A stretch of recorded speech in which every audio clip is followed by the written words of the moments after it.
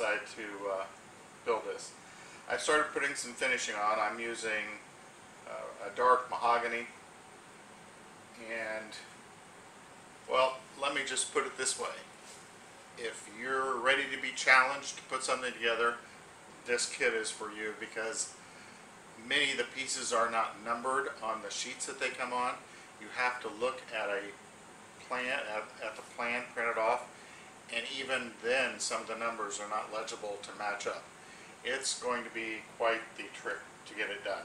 So let me show you what I've done so far inside and I'm not sure I'm going to be able to completely finish this ship because the instructions are that poor. I didn't expect numbered step-by-step directions, but I, I expected more of a photo or a drawing with a matching number a little bit clearer than what this is going to be. So let me show you where I'm at, and I hope you'll still choose to follow along.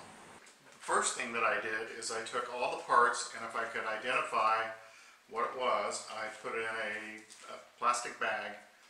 I put what page in the Word document that they provided with the kit. Put what page number this would be found on. So I started out that way and did numerous ones, and these I'm, I'm still hanging on to.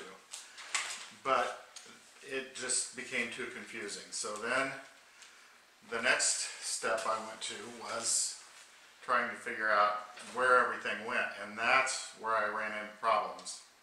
For example, this is the the bones of the ship, but to identify all those parts was on a piece of paper this big, and some of the numbers you just can hardly read. Now I realize I'm getting older, but then the next problem I ran into is I went online and found some instructions and I discovered that there are several different versions of this ship and some are a little bit different especially when it comes to the the hull remember this is the one that has the open side so it is completely different so it has taken me probably two full eight hour days just to begin to get some of this organized so off of a small piece of paper like this, some of the numbers I was able to decipher. So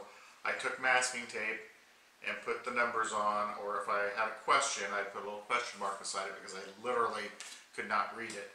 And that was by, you know, both enlarging the photograph or the, the picture or the drawing, or shrinking it down and trying looking at it with magnifying glass probably 80% I've gotten identified, but that 20% is going to be something else. I finally found a photo in the instructions that showed which ones of these cross members had a little notch. And I do have them in the correct placing now, so that was critical. After a lengthy period of time trying to get this to work out. I finally have all the members in place and the center braces. The best clue I can give is, and I'll call it a notch, it sticks out just a little bit on a few of these. There's one of these little notches, I'll call them, on number 7, number 9, let's see it right there, number 9, number 11, and then 14. 14 was easy because it's a unique shaped piece. The center area here is what caused me problems, but it let me know that I didn't have these in the proper order. The front segment has a little angle cut to it. You can see it under here. That's marked number 17. Only one of the two are marked, but they're beside each other. The back two are number 18, again only one of them is marked. And not marked at all are these two center supports. And they were the ones that were actually telling me that I didn't have these in the proper order. Once you get all those in the proper place, then the, all these center braces will uh, fit properly. The other thing that you can notice is, I think, these, they're a little bit different in size, and they go out until you get to the center point, and then they start going back in. So if you, if it doesn't do that, you don't have it set up right. The next step was to put the lower flooring in, or the lower deck. Prior to doing that, I did take the knife and I deepened these grooves in the wood. It was recommended in the instructions to do that, and uh, I'm glad that I did. It, it shows up better now. And even if you don't stay exactly on line, that just adds to the authenticity of the ship. So this did slip in easily from the open side. Now I will work on getting it secure. So going from the back of the ship forward, you can get an idea what it looks like.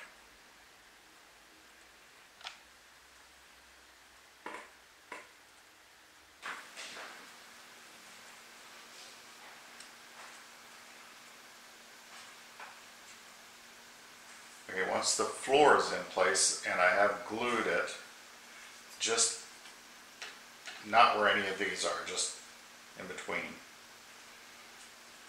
So now what you're going to do is turn the ship upside down and we're going to work on the other, the other side. And these are all numbered and they are actually numbered for once. Starts with one and it fits in a little cutout right there. Then, this is part 6D, one of the two are marked, but, and then these will glue right in here. And that will hold that in place, but again, you want to try and maneuver it so it's straight, so that's going to take some work. And then, again, these are all marked. These are one, two through seven, I believe. I'm just going to set them in place so you get an idea. And then I'll work on getting glued in place.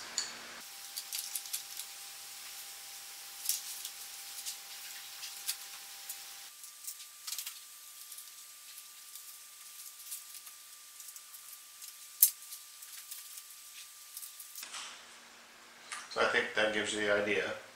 Now, obviously, I have some sanding work to do here to get these little, where they were connected, sanded off, so I'll sand that smooth. But these will get glued in place. Then also, there's a step where there's a finished product that goes here. You can see these little notches. So after these get glued and set up, that'll be the next step. This open side where I'm putting these pieces in, I'm thinking the goal would be to have it close to smooth here, although these do stick out a little bit. But that is my goal. So for this, I'm using a little wood glue. I'm doing one side at a time.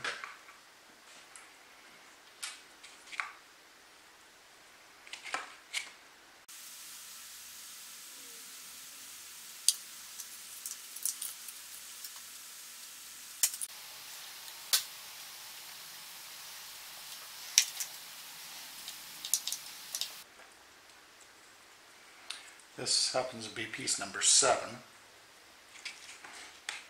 It's the last in this series.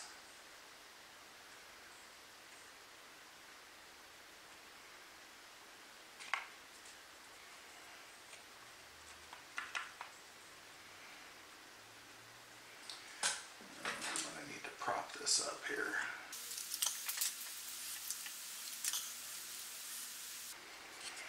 This one I'm going to let be a little bit raised because these two are raised.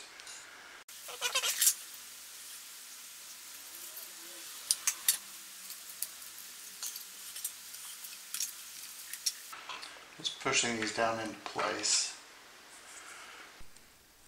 While this is all drying, I can start getting ready to prepare for the part that, uh, the finished part that goes along the bottom edge and it's on this segment.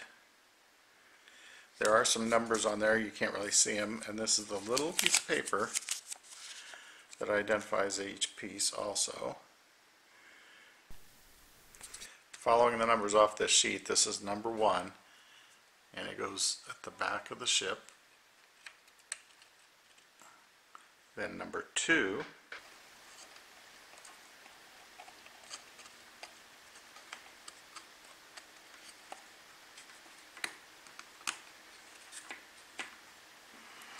Then number three goes back to the back of the ship.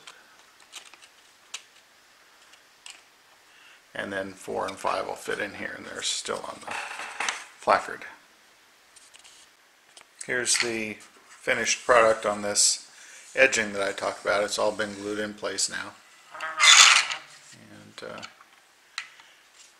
it's kind of a dovetail connection that they use in all these places. That's all in place. This is the underside. Everything's been glued.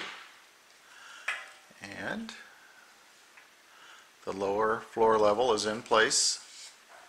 And even though I sounded pretty discouraged in the beginning, I'm a little bit more enthusiastic now. I've got things figured out, well under control. Still a lot of work ahead. Next segment will be titled Part 3. And I think I'll get into building the rooms and things that go on top of this floor. I hope you'll stay tuned and I hope you subscribe to this channel. Thanks for watching.